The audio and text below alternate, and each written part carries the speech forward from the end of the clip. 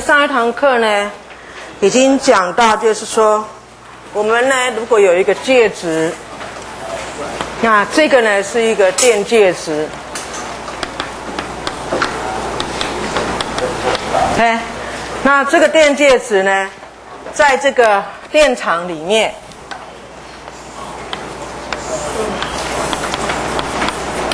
好，在这个电场里面呢，这个电场呢是一个。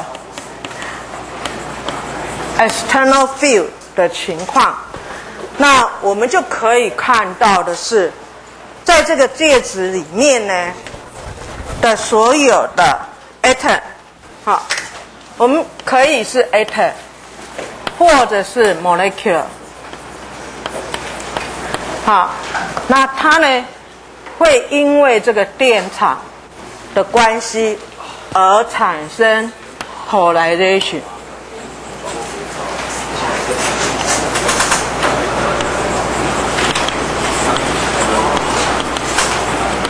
那所谓 polarization 的部分的话呢，就是在这里面的 atom 呢，就会产生 dipole moment，OK？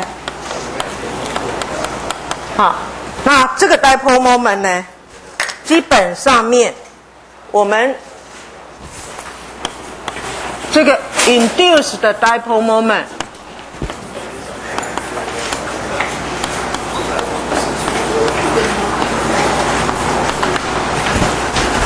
我们把它以 polarization 这个物理量来表示它。那 polarization 这个物理量是什么？就是单位体积里面有多少的 electric dipole moment。OK，好，这是我们的定义。然后你把它加起来。然后 pi 全部把它加起来，那这个 p 呢？这个 polarization，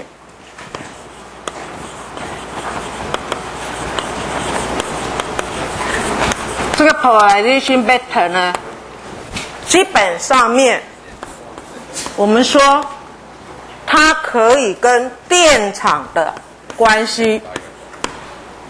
那这个电跟这个电场的关系呢？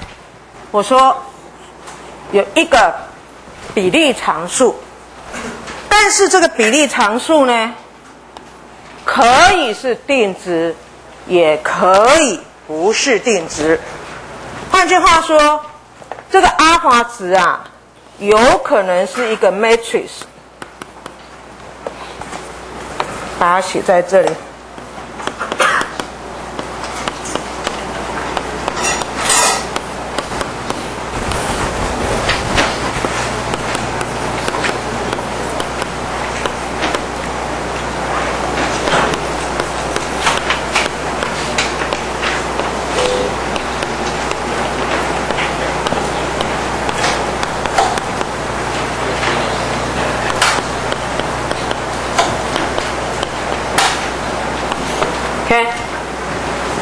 那我们讲，我们说，如果这个阿尔法只是一个 constant，OK，那如果是 constant 的话呢，就代表的是这些 off diagonal term，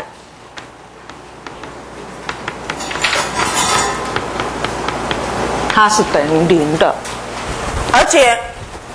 我们说这样子的物质，阿尔法一一等于阿尔法二二，要等于阿尔法三三的时候，那代表这个这个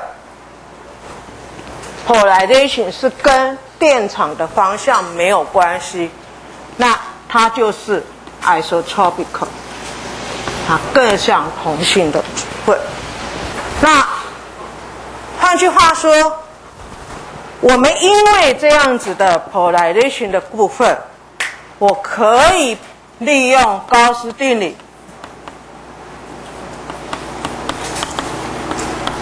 这本来是 total charge 的部分，我把这个 total charge 的部分呢分成两个部分，一个就是 free charge，一个呢就是我们这边 induce 出来的 charge，因为外界电场所 induce 出来的 charge。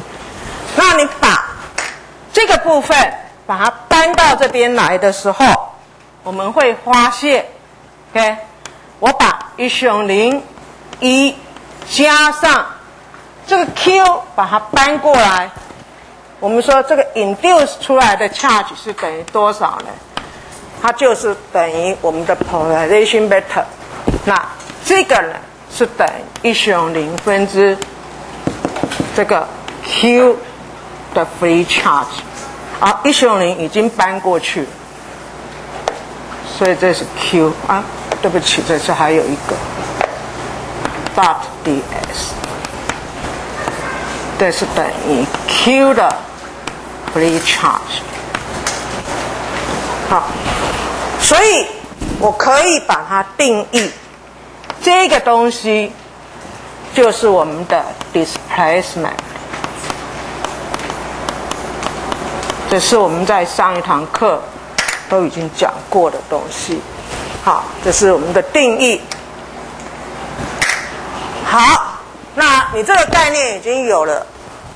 在上一堂课，我们也针对在这里面产生多少的 induced surface charge 呢？你的 surface charge induced 出来的是等于多少？嗯？等于多少？induced 的 surface charge 等于多少？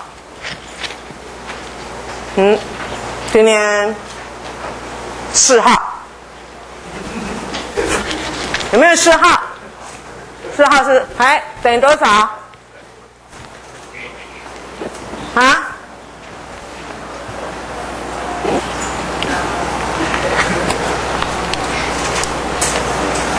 等于多少？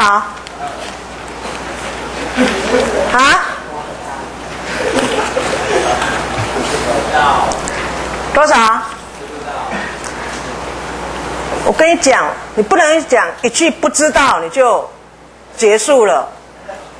你如果你去 apply 的时候，那那个 apply 的那个，不管老板或者是你的指导教授，或者是你去真试问一个问题，然后你跟他讲说你不知道，你一定不会被录取的。啊？多少？有没有人知道？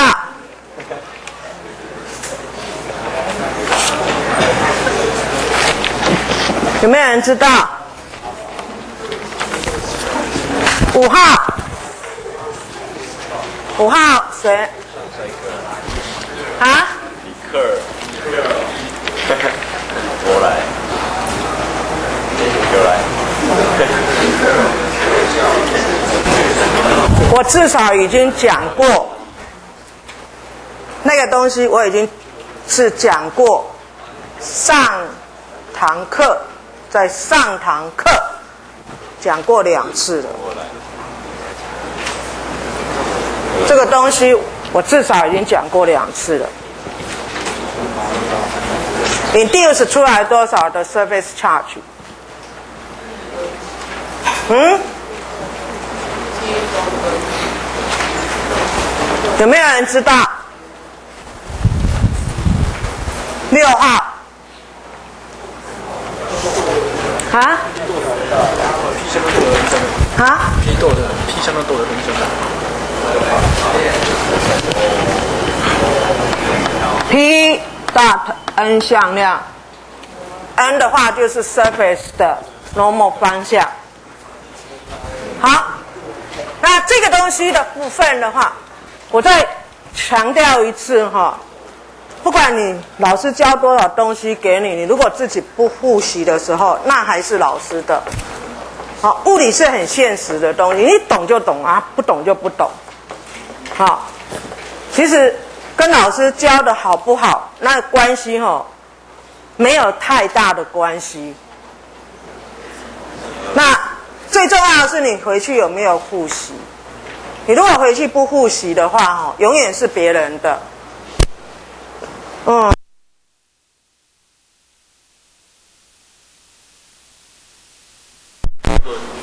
现在的美国能源部的部长。是诺贝尔奖的得主啊，朱立文。对，那他的情况呢？他在给哈佛的学生的一篇一个毕业同学的一个讲稿上面，他写了一句话，他说他非常感谢他的老师，为什么？他有两种老师，第一种老师是他本来他就教的很好的，然后他反正他就是吸收，但是他更感谢另外一种老师，是他教的不好的老师。为什么？他说让他有自我学习的机会。你们一定会觉得很奇怪，但是是确实的，因为物理的东西，你就是必须要你自己去思考。如果说全部通通是老师教给你，你就很少去思考的时候，你其实收获是没有比自己慢慢的去思考还要来的。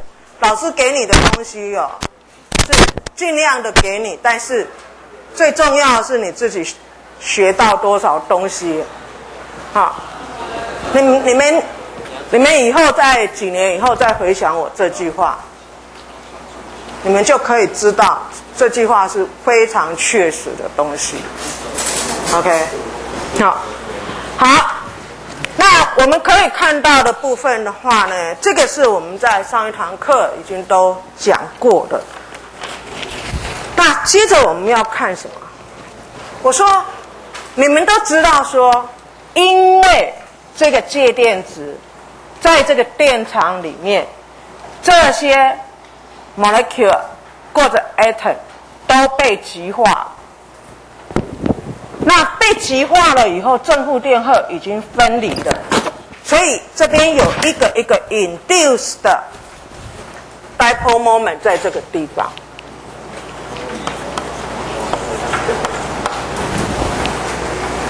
是不是这些 dipole moment 一直都会存在呢？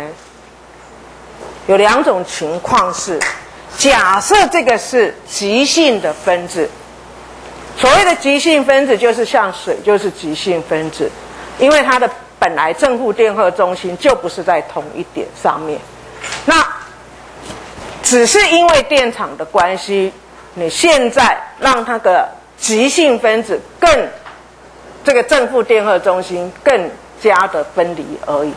那如果非极性分子呢？就是本来它的正负电荷中心是在同一点上面，现在因为电场的加入，正负电荷中心分离了。那正负电荷中心分离了以后呢？当电场拿掉的时候，理论上面它正负电荷中心又会回复到一点上面。但是有一种情况是怎样呢？当我的电场加到非常非常大的时候，会有一个现象，这个表面的电荷啊，因为电场已经加到足以去破坏它的正负电荷中心分离，正电荷跟负电荷之间它们所产生的 bond 这个这个束缚的能量的时候，那。这个电子啊，就会跑出来了。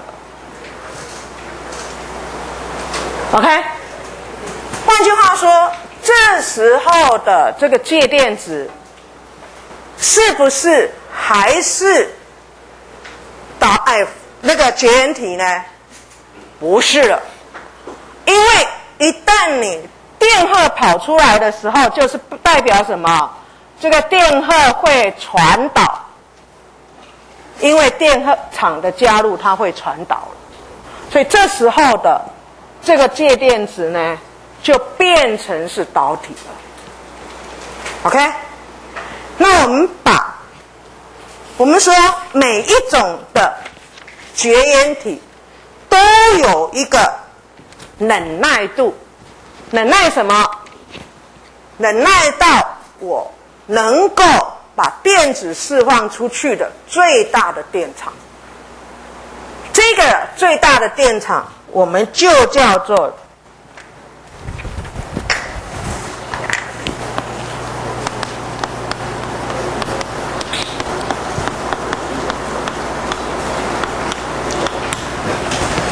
带一个去给他吃菜好所以这是我们忍耐的最大电场那对你们都知道空气本身是一个绝缘体。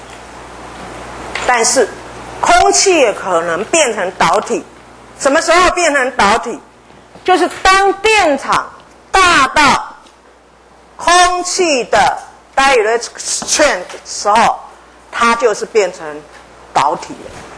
那以这个大气来讲的话呢，它的电场要大到什么时候呢？每 millimeter 三个 kNv，三千伏特的时候，每个 millimeter 三千伏特的时候，那这个就是我们的空气的最大的这个电场强度，就是介电场度的部分。那每一种啊，任何的东西，譬如说我们 paper 好，纸你们都知道是一个什么绝缘体，那纸也可能变成导体，它的电场是到一点五乘以哦十五十五，对不起哈，我把这个单位放啊。这个十的三次三次方再加十，就变成这是十的六次方的 v 除以呃，换句话说，这个是三，OK？那 paper 的部分的话是多少？是十五，单位是乘以十的十六，也就是它是等于多少？它十五的 kV。当你每 millimeter 是十五千伏的时候，这个值也会变成导体。OK，那玻璃你都知道它也是绝缘体，但是如果我的电场大到三十 kV 每 millimeter 的时候，那它也一样变成什么绝缘体？哎，变成导体，OK，这只是我举几个例子而已。好，那有一个东西，Michael，那这个是两百乘以十的负六次方。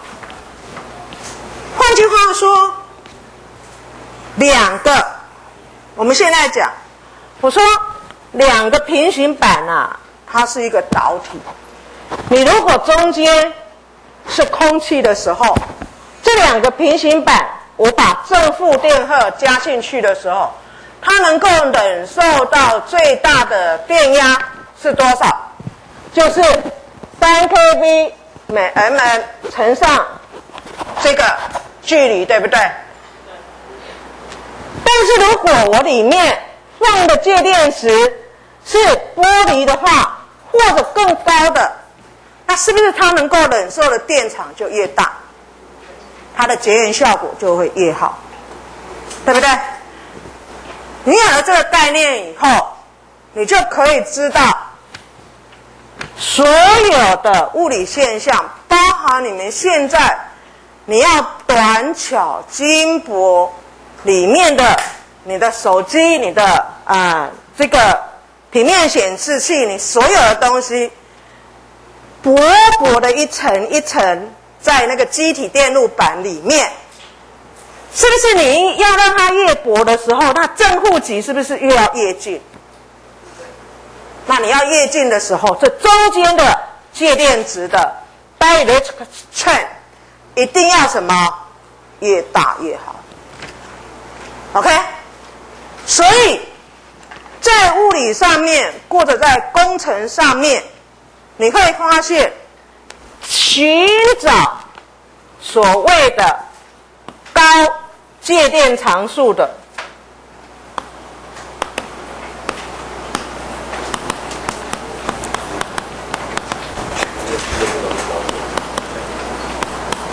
material，是一个你在半导体工业里面或者在光电产业里面非常重要的，因为。只有里面的 H 容越大的时候，你这里面能够忍受的电压就越大。那反过来，你就可以越什么越薄。同样的电压，你可以制作的越薄，它不会击穿掉。OK，所以在平常我们把这样的一个效应，虽然是一个非常简单的概念，但是它却是一个你在工业上面或者是在制造业上面，你的要去突破，要你怎么样去找这一层薄薄的这一层的东西。那这一层东西，它要有高的介电常数，它才会有高的 dielectric strain，它能够忍受的电场就越高。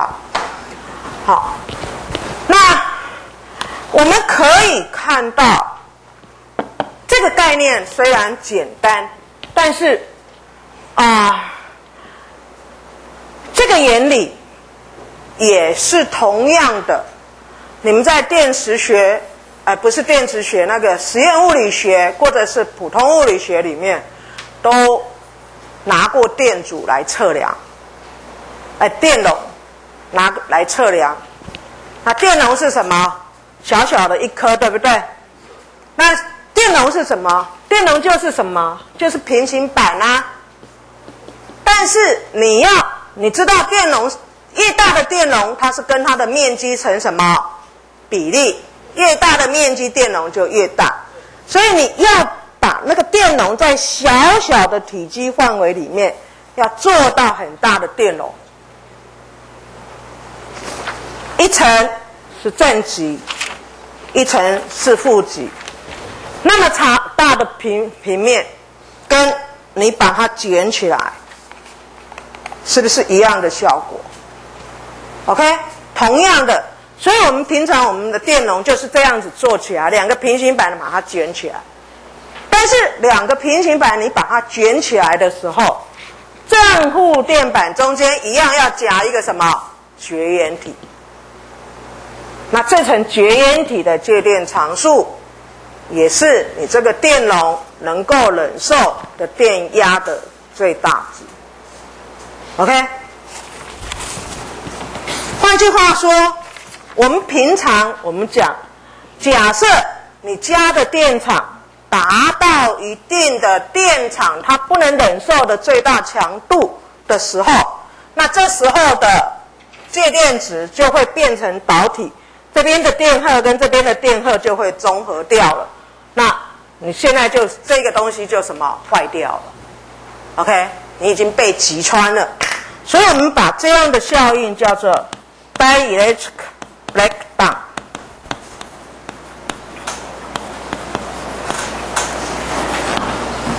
那没问题？好，这是一个简单的效应。这个简单的效应，却是在工业上面，在啊这个半导体业上面，然后非常多的啊专利都是在这边产生的。你怎么寻找？你越高的介电常数的东西在这个地方，你的东西就更容易越短巧精薄。好，到这个地方有没有问题？那这个没问题的话，那我们接着，同学这边还有一个位置。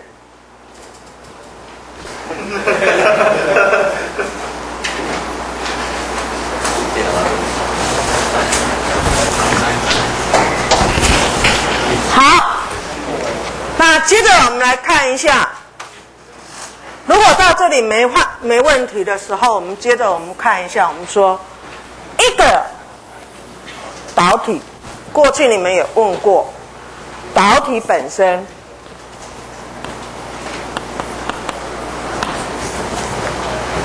它内部没有电场，你们都知道，OK？大家都知道吧？还有人在笑，到底有没有人不知道的？有没有人知不知道导体内部是没电场的？知道请举手。哦，很好。好，那我们现在我们来看一下，电荷已经知道说它在外面的，对不对？然后你也知道，这个电荷在外面，它会不会均匀分布？不会均匀分布，因为在外面的它的 potential 是什么？constant。那到底电荷的分布是怎么分布？我们接着我们就要来看一下。我说，对这个导体来讲，这边分布的电荷跟这边分布的电荷，我可以把这个导体视为这个好像是一个曲率半径是这样子的球，然后这边呢，可视为曲率半径是这样子的球。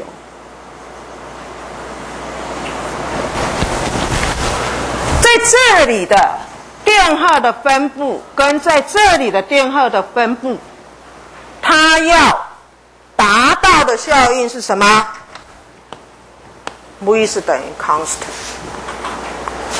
OK，那你要达到 V 等于 constant 的时候，我可不可以把这个问题就把它简化成什么呢？简化成这是一个球。曲率半径是 r one，这呢是另外一个球，区域半径是 r two。好，你现在既然要把这里的 potential 跟这个的 potential 是要 constant 的话，那很简单，我就把这两个球，它都是导体啊。用一个导线把它连起来。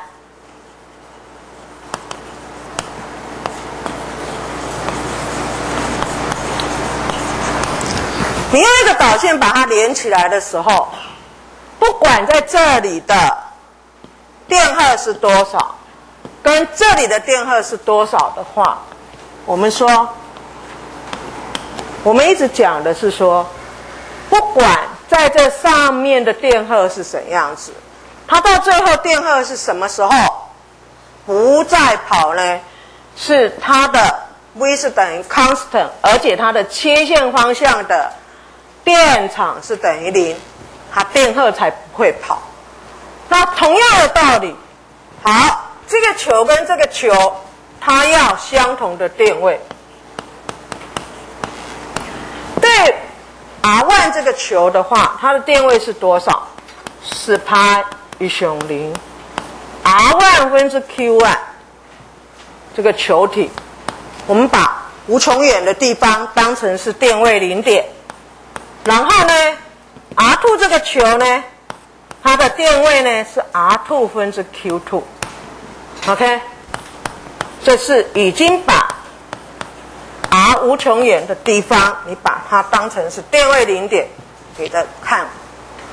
那我们现在我们看到的是什么？q one 跟 q two 的比值啊，你就可以知道它刚好是等于跟它的这个什么半径关系。OK。那如果是 surface charge 的 density 呢？对，sigma one 比 sigma two 的 surface charge density 是 q one pi r one 的平方，也是拍 r one，q two 的是拍 r two 的平方，所以你看到你这个是 q one q two。r two 平方比 r one 平方，那我们把 r one 跟 r two 的比例，你把它放进来。所以我们看到是什么？我们看到的是你的 surface charge density 是跟你的半径成反比。换句话说。单位体积，哎，单位面积，在这里的电荷跟在这边的电荷，我们会发现的是，跟你的半径是成反比的。Surface charge density 有没有问题？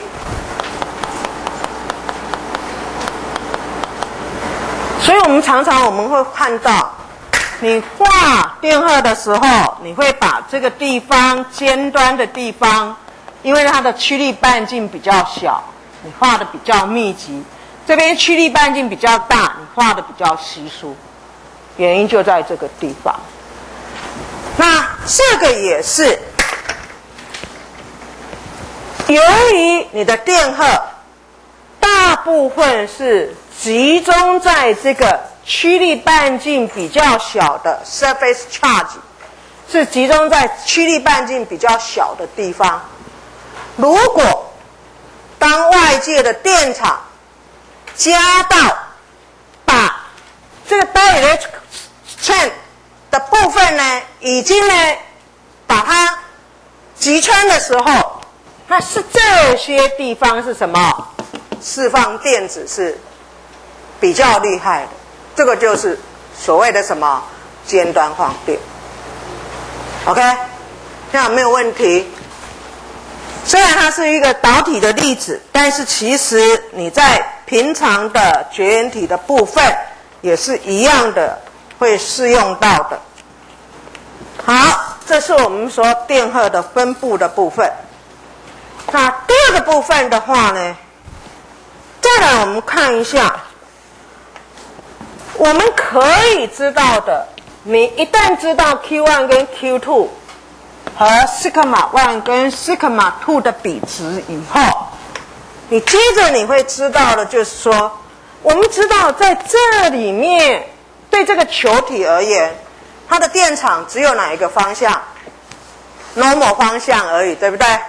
就镜像朝外的，或者是镜像朝内，看它带的电荷的正负极性。那我们可以知道的，它是一个 normal 方向的电场。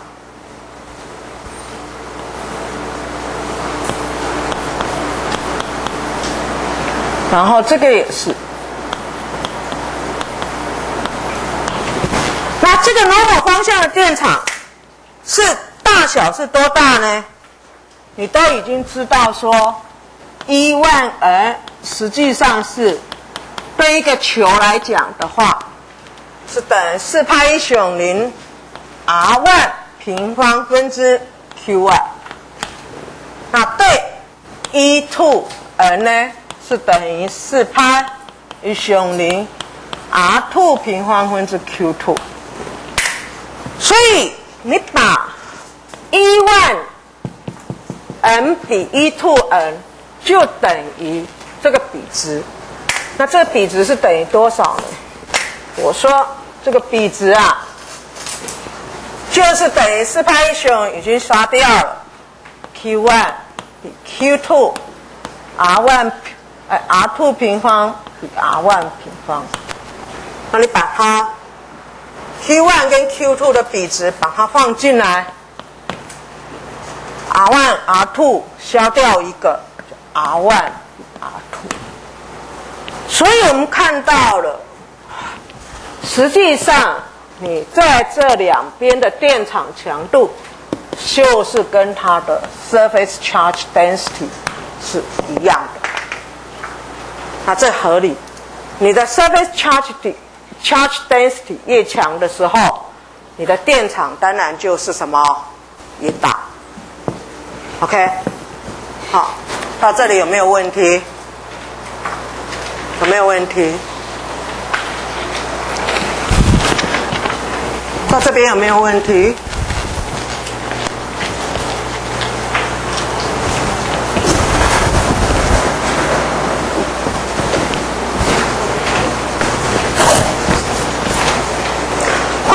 说我们看到，在这个尖端的地方，它的电它的 surface charge density 是比较强的，而且在这个尖尖端的地方，电场是比较大的。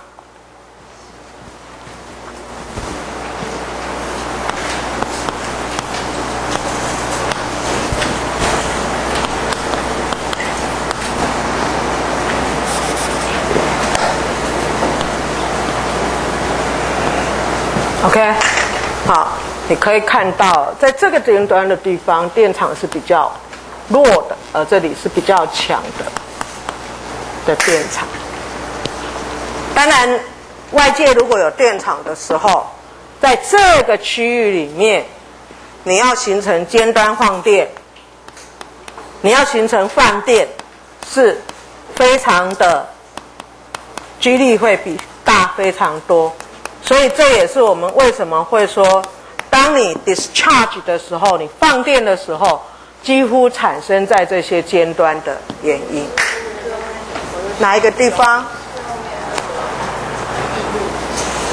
哦，其实刚好相反了，对，比值一二，越大的没有讲错，但是笔误了。越大的 surface charge density 越强的电场，很好。好，看有没有问题？到这边有没有问题？好，那没有问题的话，你现在对一个介电子的特性你已经了解了，对导体的特性你也了解了。然后，接着我们要看的，就是它的边界条线。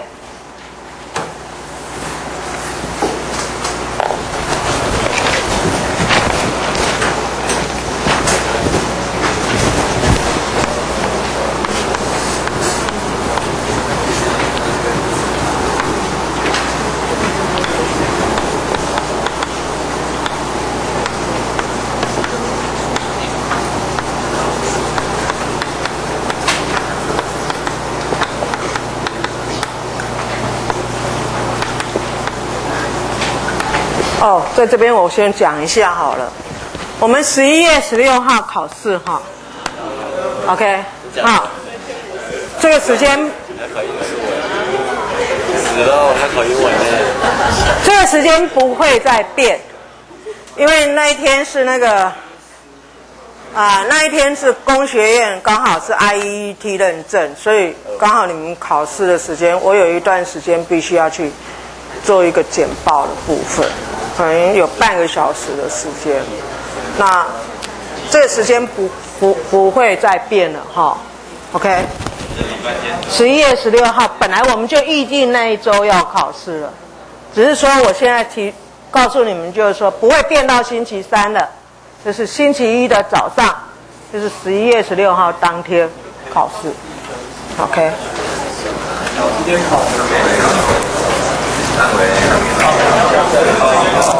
嗯，十六号，就是十点呐。范围范围，我们就是十点到十二点呐，对呀。范围范围范围，范围就到下个礼拜的啊。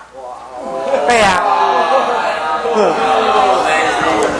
我们现在的进度是刚刚好，差不多，就是跟我们课程大纲的进度差不多。然后有一件事情是，现在讲的部分的话，已经是在你们的，好像第三章的部分，对不对？因为后后面的部分 image charge 跟我们在解，呃解那个那个 Laplace equation。当我把我所有的 dielectric 的性质讲完以后，我们 Laplace equation 就整个是，你不管是导体或者是介电子，就一起讲，OK？好。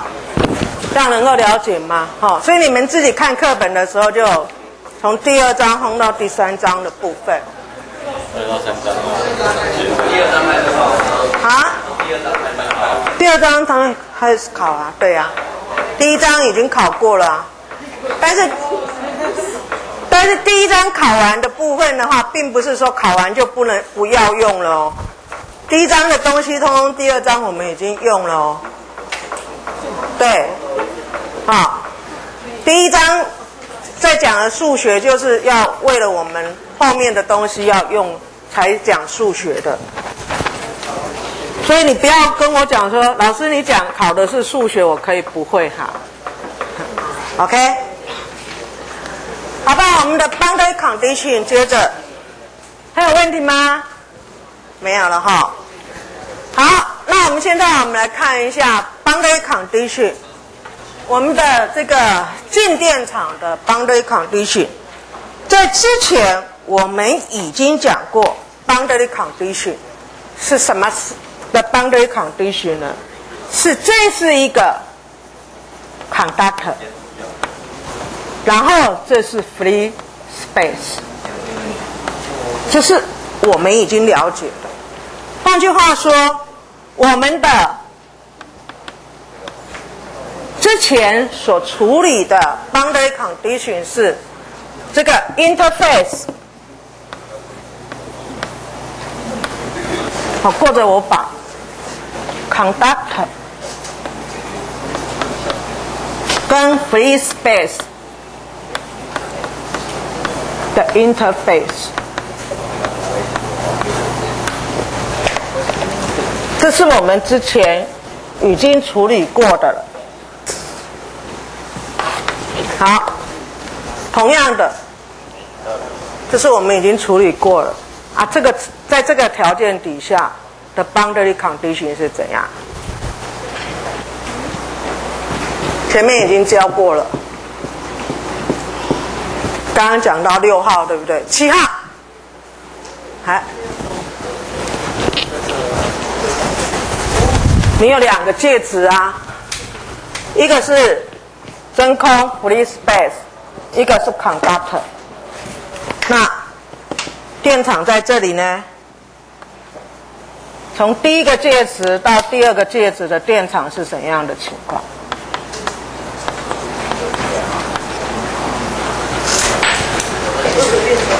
嗯？啊？哎，它会垂直表面，然后呢，哪里的电场会垂直表面？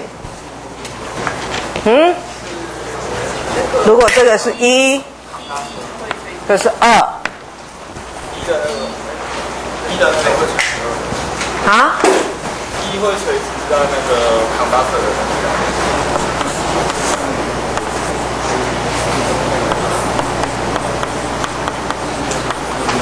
个。某某方向。对不对？然后呢？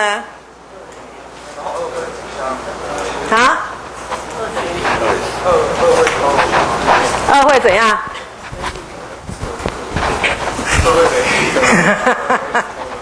好，二会等于零。好，再来再问一个，一万 n 是等于多少？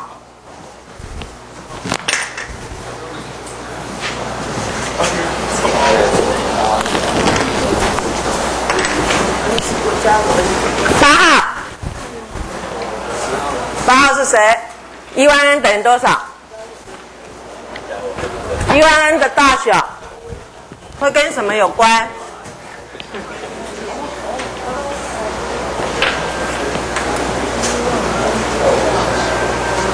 嗯？会跟什么有关？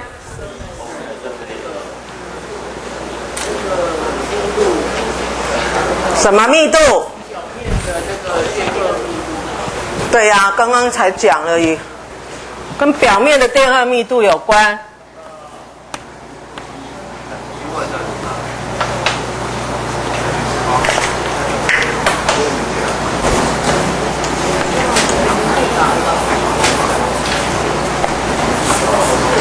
还有呢，跟什么有关？这是 surface charge。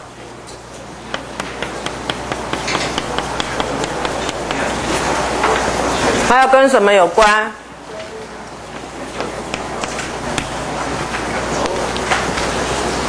跟你的介电值，因为这里是一选零有关系，对不对？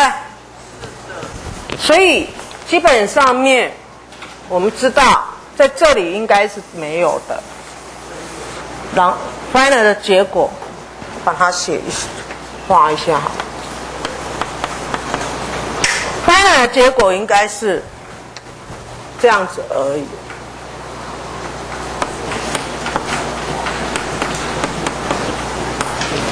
OK，那里面没有的。好，这是我们对于导体跟 free space 的 interface。那接着我们想要探讨的东西是什么？我们说，接着我们要探讨的东西是两个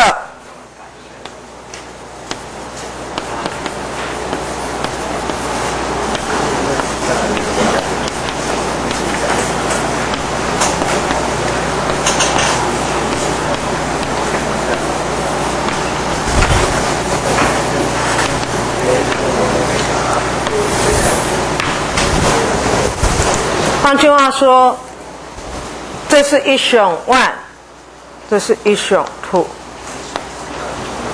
那一个是 median one，一个是 median two。那同样的情况，我说一万跟一 two。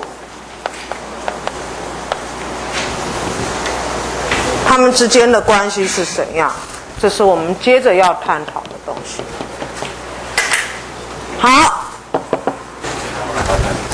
针对这个问题的部分，你还记得我们在处理这个 boundary condition 的时候，我们用了两个技巧，一个是什么？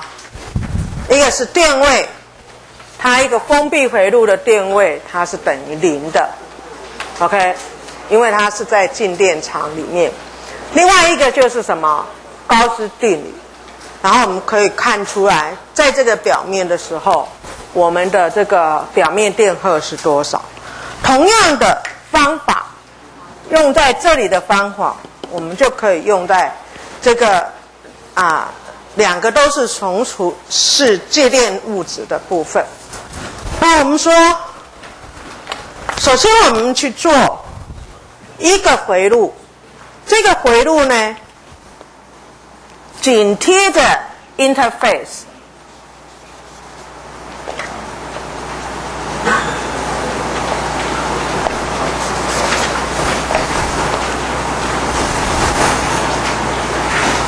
OK，它的厚度呢？是德尔塔 H，当然这个德尔塔 H 呢要趋近于零，这是我们在做这个回路的时候，A、B、C、D 这个回路，我们所第一个我们要的一个条件。所以对这个回路而言的话，我说 E dot D L。它应该要等于多少？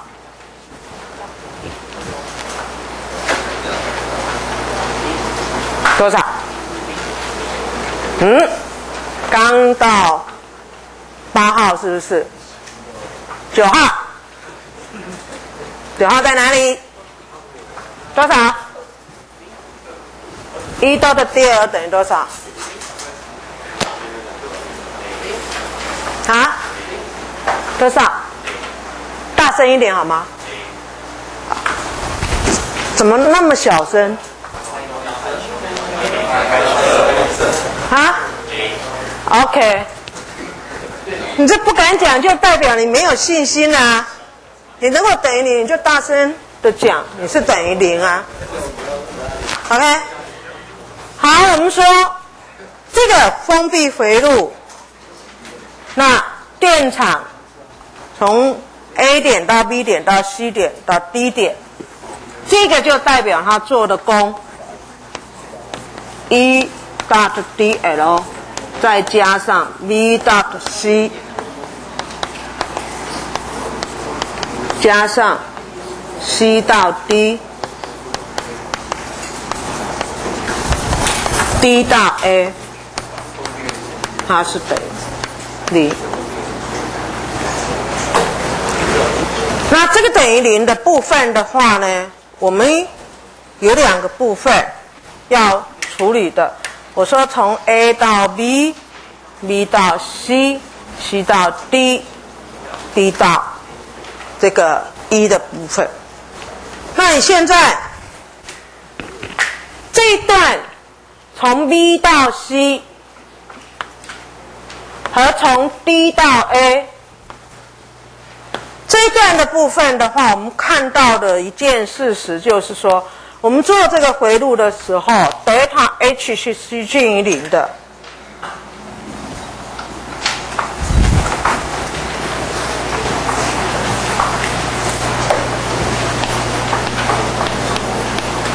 所以你从 B 到 C，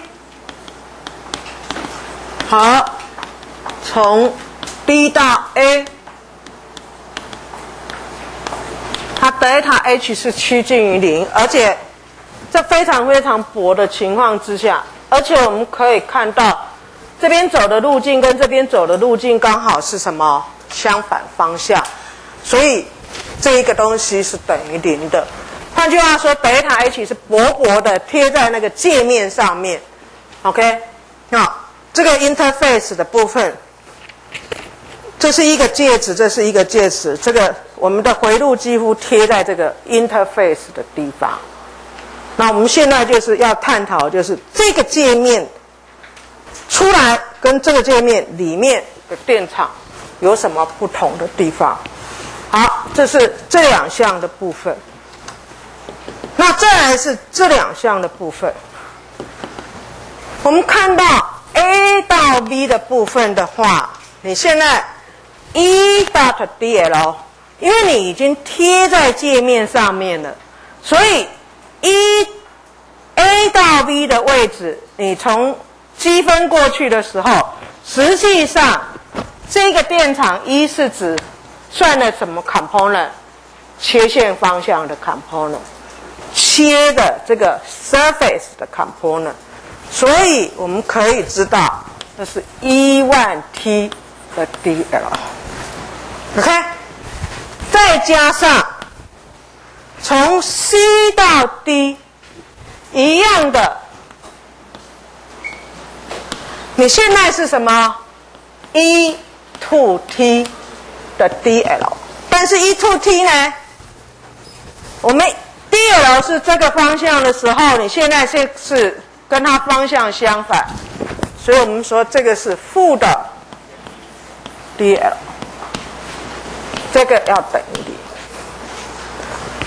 换句话说，如果我这个宽度所取的德尔塔 w 是一个任意的宽度的话。那我的德尔塔 W 可以缩的短一点，也可以比较长一点的情况之下，这个关系是都要什么符合的？换句话说，这个 E one T 跟 E two T 啊，其实就是这个小的 local 的 E one T 跟 E two T，你可以去个别的去测试。那我们会了解到的是，E one T 如果德尔塔 W，OK。你是 arbitrary，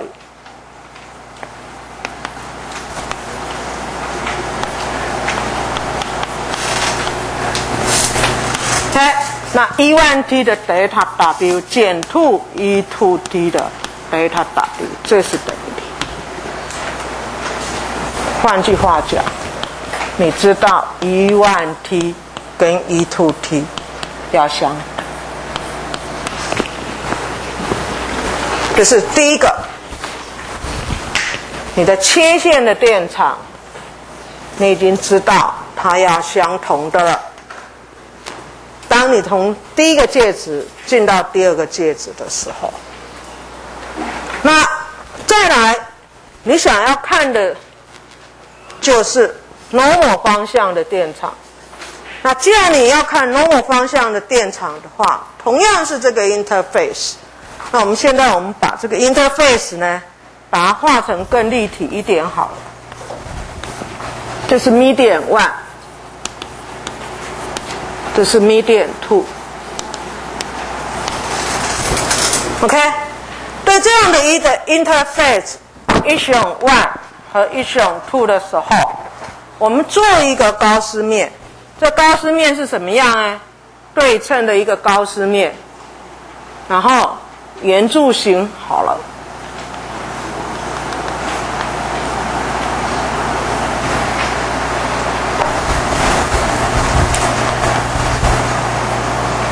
那这个高斯面呢，刚好是跨了这个 interface，OK，它对称的一个情况。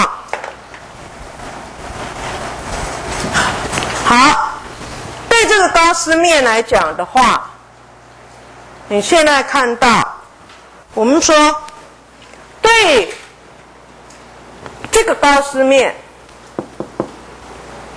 第一。Dot ds，它应该要等于多少？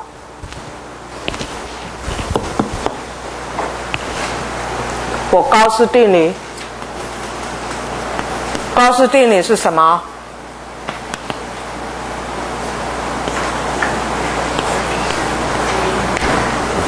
这个要等于多少？q 对不对？q 是什么？q free charge，OK，换句话说，你现在这个东西呀，是这个高斯力面里面有包含的 free charge，你全部要放在这个高斯面里面。那我们再来看左边的部分，实际上是它包含了几个 surface。第一个 surface 当然是。N 万的 surface，第二个 surface 当然是 n two 的 surface，啊，第三个 surface 当然是周围的 surface，所以我们可以看到这个 d dot ds 的部分实际上是 surface one，d dot ds。加 surface two 的 d dot ds 加上 surface three 的 d dot ds，那 surface three 就是什么？就是侧面的这个。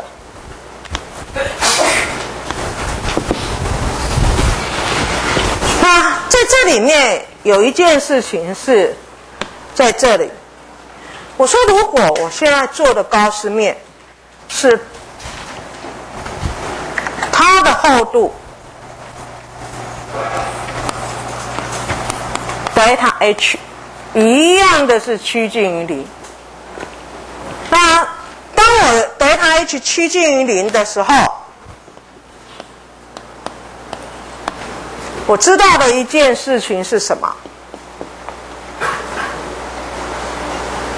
我知道的是。我在这一圈上面呢，我的高斯面是这样子，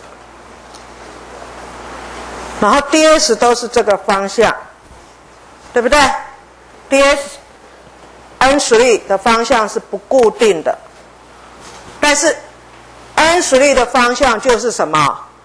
这个 surface 的切线方向，对不对？我们刚刚已经讲了。一万 t 是等于一 to t，换句话说，在上面的电场跟下面的电场的切线方向是什么？一样的，那有没有问题？OK，所以理论上，你在这个高斯面上面，d 呀，在 median one 的部分，它的 d 呢？是应该是一选万一万。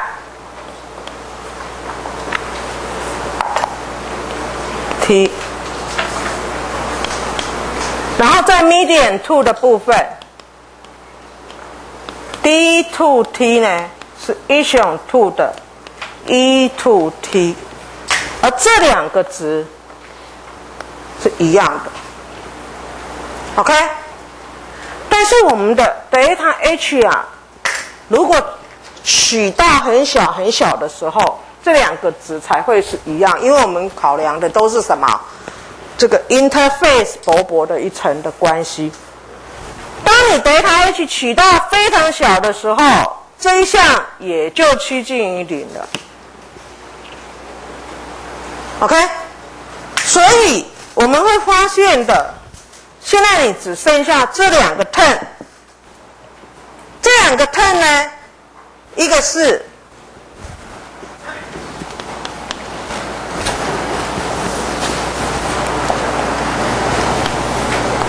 D one N D S one，因为你的 n 1的方向就刚好是这个 interface 的 normal 方向，D 已经很小了，所以你的那个高斯面就是你的 normal 方向，OK？有没有问题？因为你的 DS one 就你的 DSN one，那然后呢？D two 呢？你的 D two 啊，我们现在，我们把我们的 D 从 interface one 进到 interface two，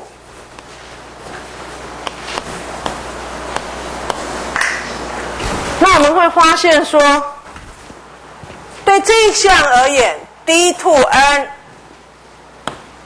到 DS two 的部分。实际上就是 ds 的 n two，但是 n two 跟 n one 的方向刚好相反，所以我们看到这边是 ds two 的 ds 的负值。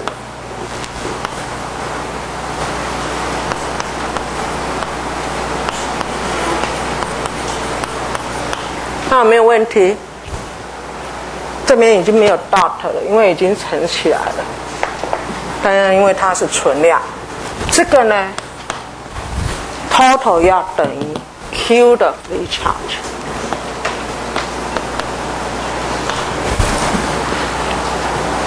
换句话说，你现在你把 d y n 减 d two n ds 这个积分起来，它是等于 Q 的 free charge。那 Q free charge 呢？我如果把它做成 surface charge，然后 ds 就是在这个高斯面内部的 free charge，啊，自由电荷哦，在这边重要的。那我们可以看到，就是说，基本上面这是对 surface 积分，这也是对同样一个 surface 积分，我们就可以知道它是 d one n 减 d two n 就等于斯克马的 free charge，或者你基本上面因为你是 normal 方向，我们就把它 d one 减 d two，那你的 normal 方向是哪一个方向呢？我们说它的 n one 的方向，这是 n dot，这是 sigma free charge，OK，好。为什么那边不加 P 呢？哪一个地方？橘色，橘色下面这里，这边。在哪里？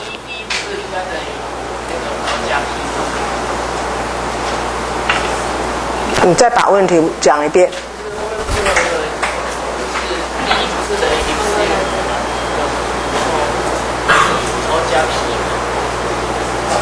D 呀？对啊。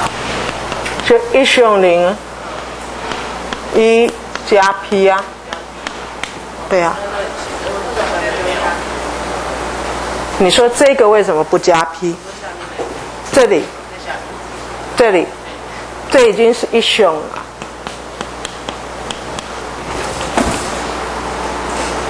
对，你是说这里没有加零，对不对？对，你这里已经这个是真空的，这已经是介质的，OK。所以你如果这边是写成一熊零一，你 one 就要加 p one。OK，你已经是介质的一熊 one，一熊 two，就是这个关。好。好，所以我们现在我们看到了，我们得到一个结果。那在这里的 n，很明显的是，好，我们从 n two 的 median 指向 n one 的 median。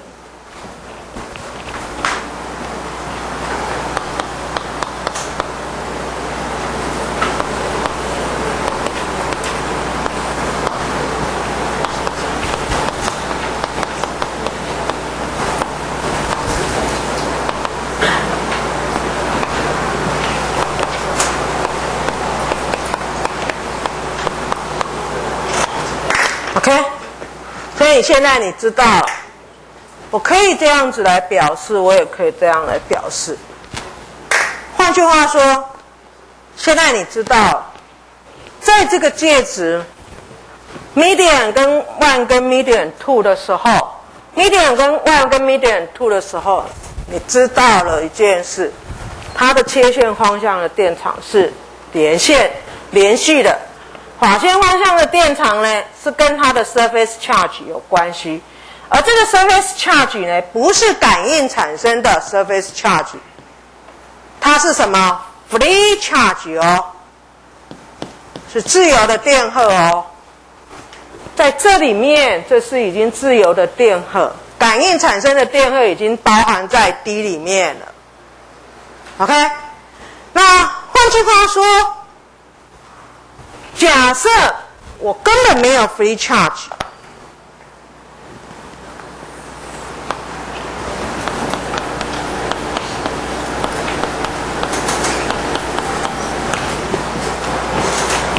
假设根本没有 free charge，在这个 medium one 跟 medium two 上面。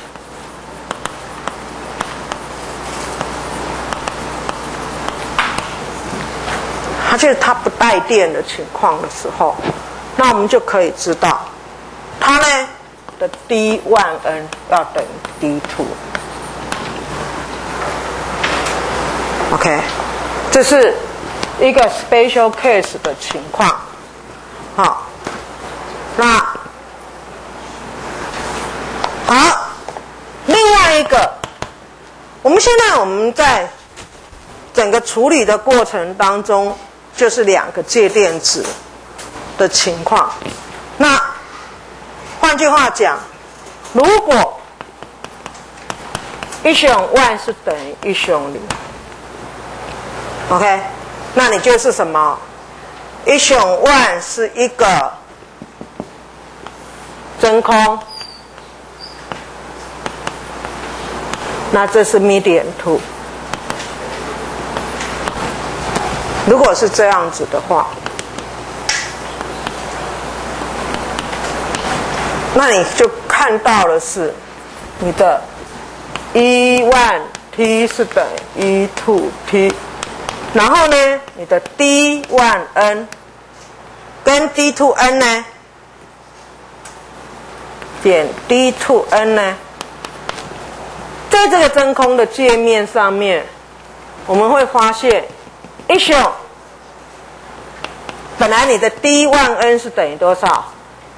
一万的一，一万的一万 n，再减掉一雄 two 的一 two n，而这一个现在是一雄零。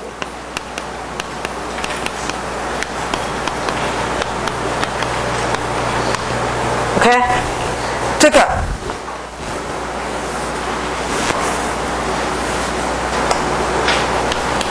就是你的 free charge 的 surface，OK，那在这个地方，一般来讲的话，我们大部分的介质是不会带电的，除非你是要去把这个 medium 把它带电。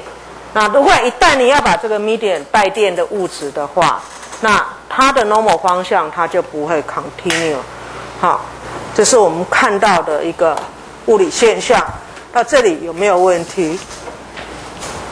所以你的 boundary condition 是很清楚的了。好，那这个 boundary condition 呢？我们在后面解答 plus equation 的时候，好，你就要会要用到。也就是说，在不同的介质的时候，你的电场会是什么样的变化？你的这个 displacement vector 会怎么样的变化？你自己要会判断。OK，没有人会再跟你讲了，因为这是这就是你的尝试了。好，这尝试是属于专业知识的尝试了。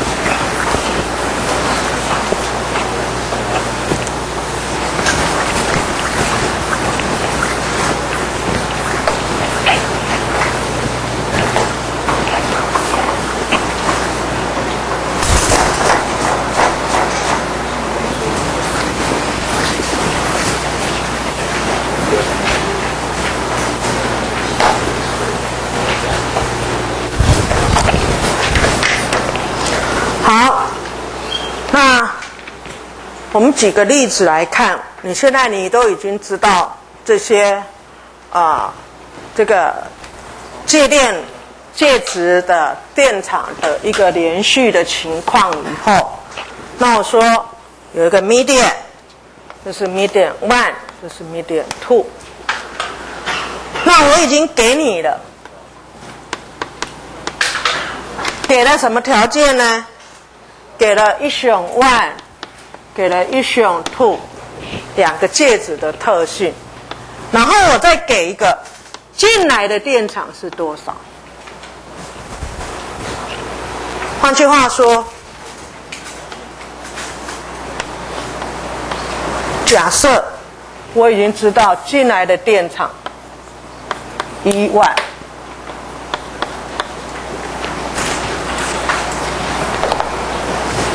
那阿法万一万给的话，就代表方向大小都给了。啊，我要问的问题很简单，请问 E two 是多少？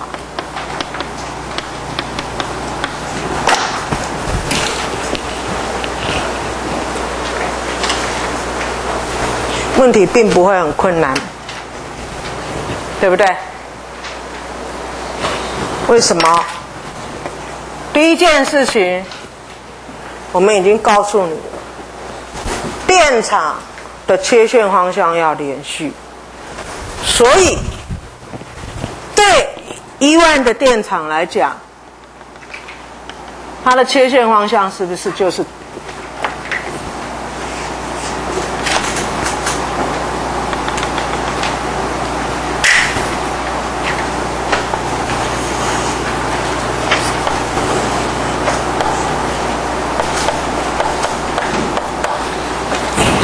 ？OK，它的法线方向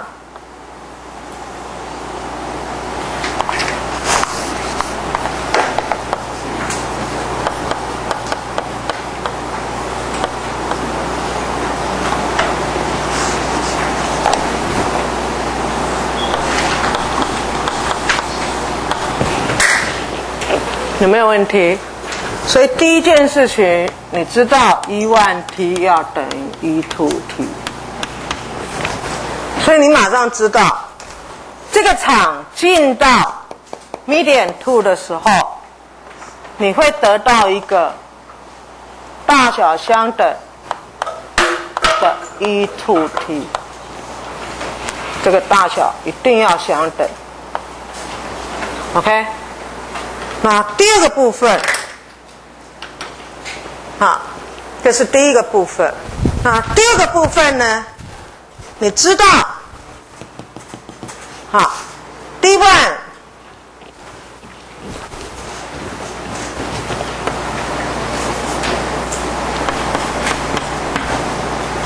减掉 D two，它的 normal 方向，它是等于 surface 的 free charge。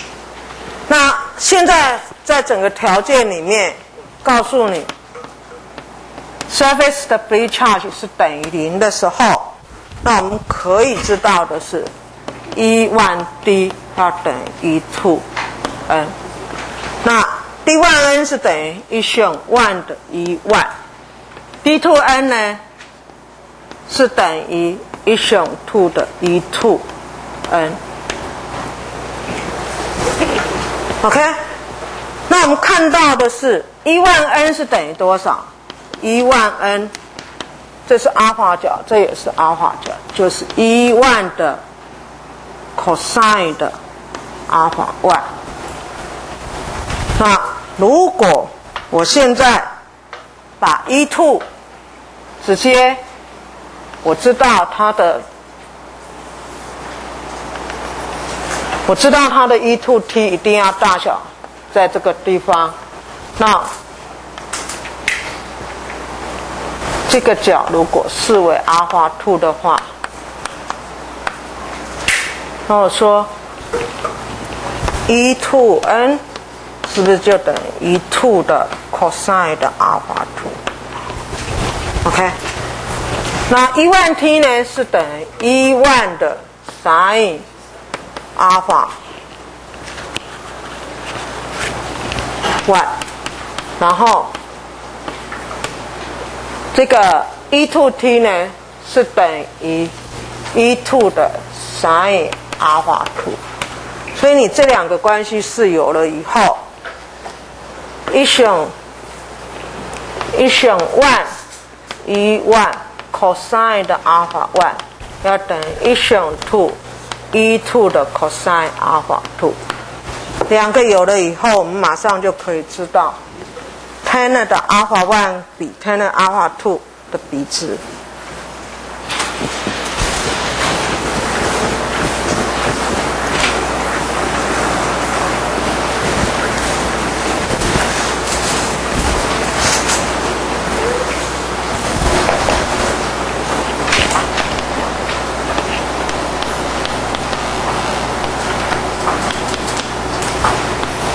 好，你把它比一下，就变成是一选 one 比一选 two。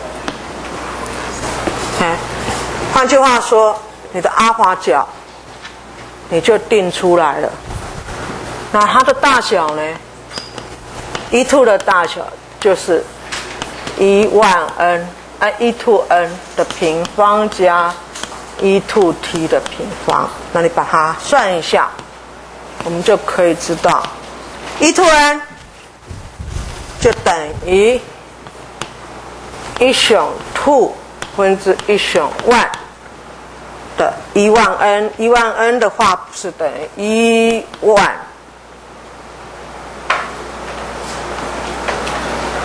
的 cosine alpha y，然后 e to t 就变成一万的。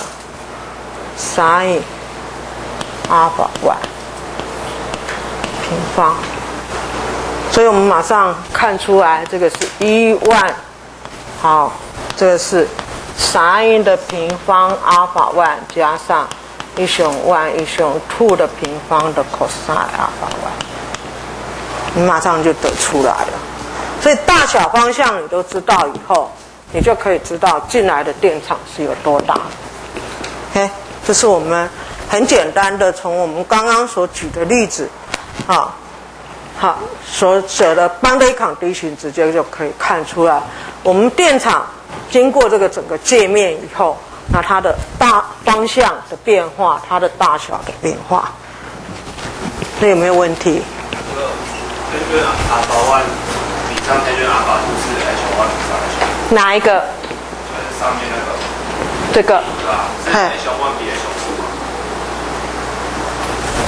h on h 嘿，啊，你是写 h h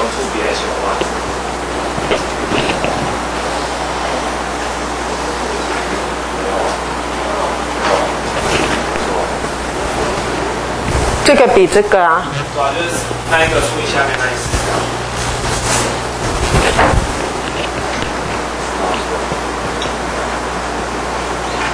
这个就等于一 on one 的 ten 了。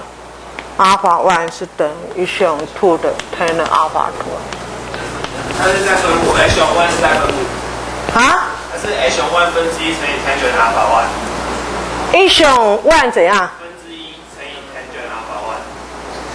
一选 one 跟 h 选 one 分之一，嘿，因为你要的是除的啊。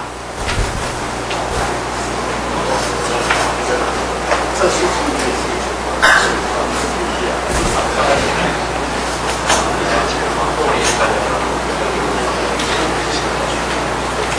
这两个一比，一 one 的 sin alpha one 比一选 one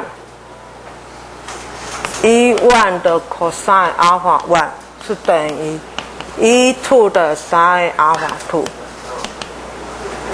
一选 two 的一 two 的 cosine alpha two。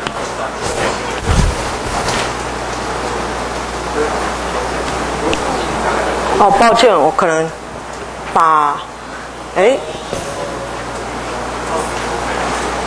，tenor 的 alpha one 一选 one 是等于 tenor 的 alpha two 的一选 two，所以哦，对，我可能这个是一选 two。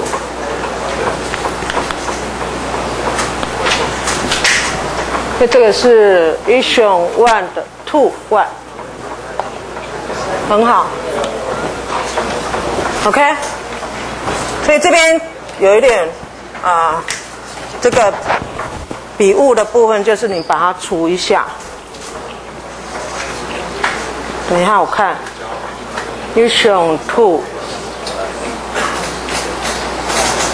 alpha one。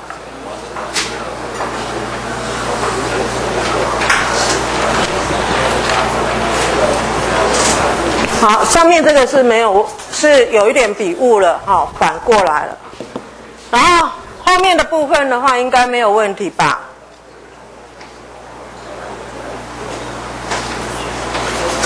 一选 one，一 two n，OK，好，很好，有没有问题？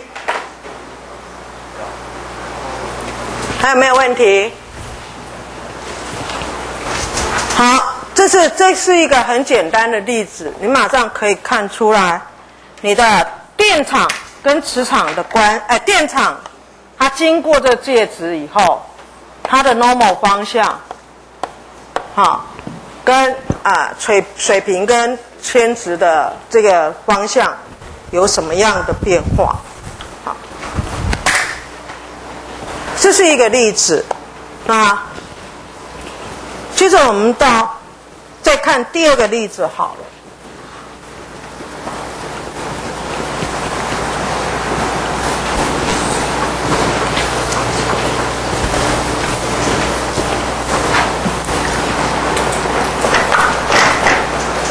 第二个例子的部分呢，我们把它举一下，就是说，我现在是有一个电场。那在这个啊空间里面，那当然电场是很均匀的电场。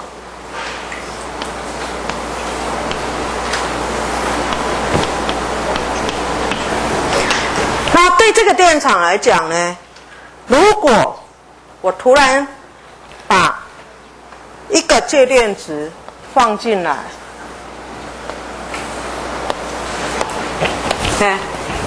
直接把它插进去。那这个介电池，它相对于这个电场的部分的话，它的 Dirac constant 是一选 R。当然，你知道这是 free space，这也是 free space，那也这是一选 R。那我们现在我们的问题是在这个地方。我说外界这个电场一样，如果我把它定成一零 I 的话，那我也知道一选 R，我现在问的问题就是说，在这里面，它的电场是多少？然后它的 displacement 是多少？然后它的 polarization 是多少？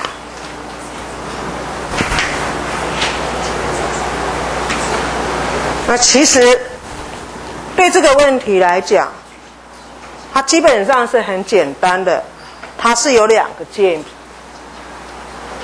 在这样子的是一个界面，对不对？对这一个界面来讲，这是 free space，这是一个介质，这里又一个界面，OK？那这两个界面唯一的不同是在哪里？唯一的不同是，对这个界面而言，它的电场是一零是这个方向，这一雄啊，一雄。而对这个界面呢，它的电场是一零，然后一雄，这一雄。你看到就是两个界面，那有没有问题？OK，有没有问题？所以你现在你刚刚如果你的学习是 boundary condition 你是会的话，那你现在你就没有问题了。你只是什么？现在的界面，原来的这个是一零，现在这个是一零，你现在要求的是这里面是多少？这里是多少？OK。然后把这个东西呢，把它当成你们的 problem，problem 是第几了？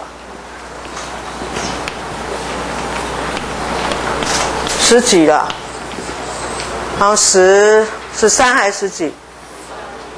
十三的样子是不是？啊？OK，好。那下个星期三的部分哈。好，这是，然后再一个爬板给你们。下面这个问题也不困难，但是它却是一个我们平常你要去 design，也就是你要去设计你的这个啊问题的时候呢，我们会希望知道，我说我现在是一个 cable。那 cable 的话就是长长的，这地方这个就是 cable，OK，好，这个都是 cable。那 cable 的话呢，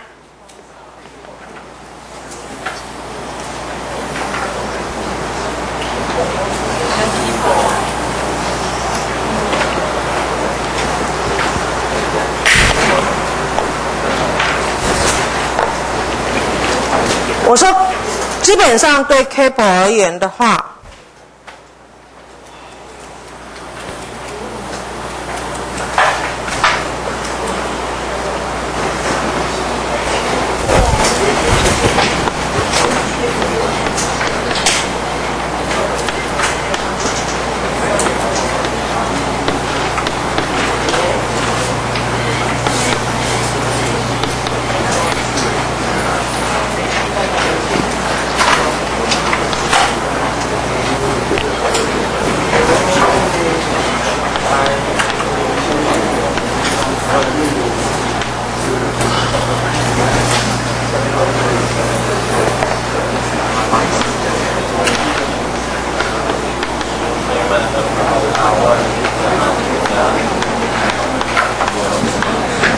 我说我希望去设计这个 cable，它要它的工作电压是二十伏，呃 k 伏。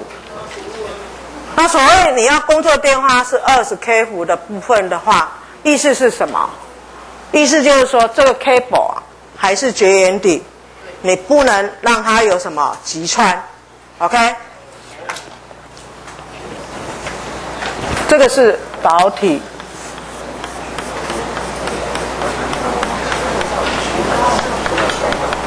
然后我的一选 R 是等于三点二，然后一选 RP 是等于二点六。那我的 cable 呢？RI，OK。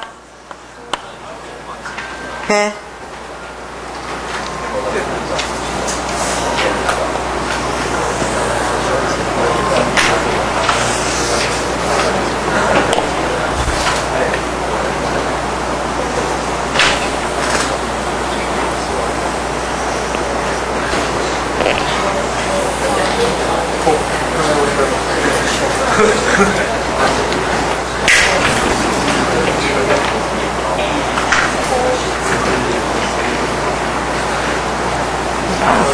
需要到那么多圈好。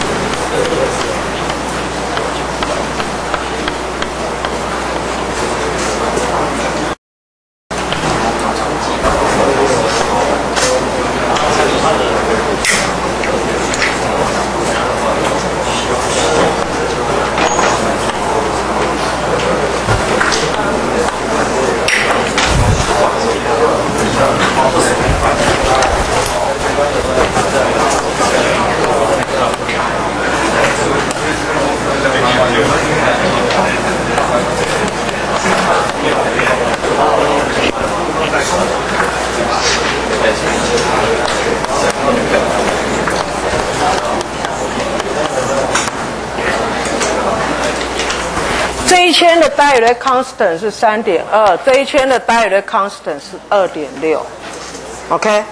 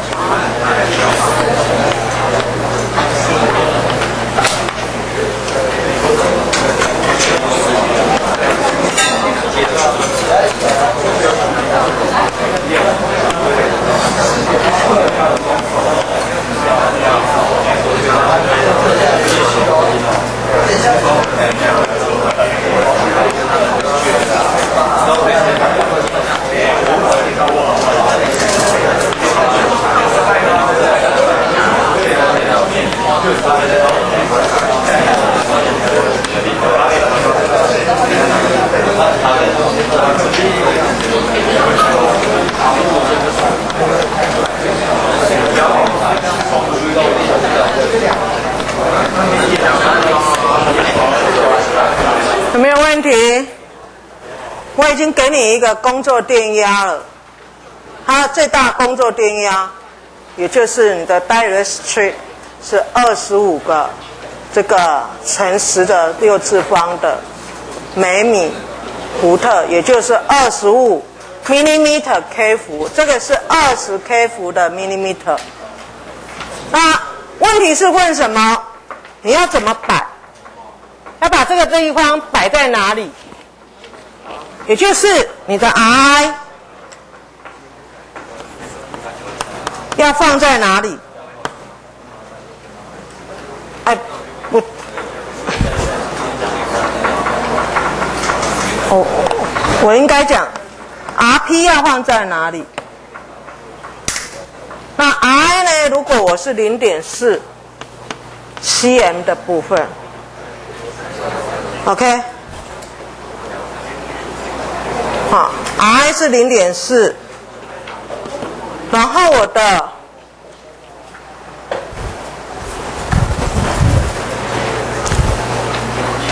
看一下哈。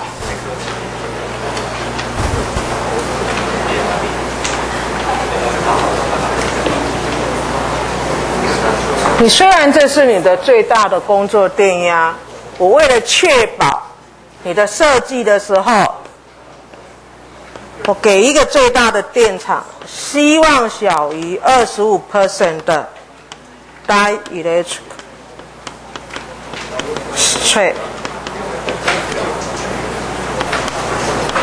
你去设计它的时候，你不要设计到满，啊，你最这个确保安全起见，你就把它设计最大最大能够忍受的电场是这个。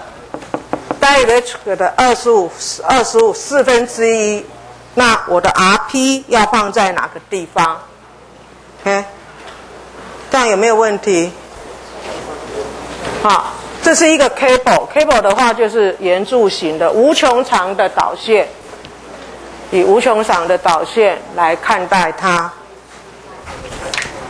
OK，那换句话说，在这个问题里面的话，你要每一个地方你去看你的电场的大小，然后用用你的这个 dielectric 的观念，好。然后去看你的 dielectric strength 在哪个位置的时候是符合这个条件的，嗯，有没有问题？啊？没有外加电场。对。你这个不需要外加电场，你就应该要设计。当你有外加电场的时候。要保证它不会被击穿，对，OK。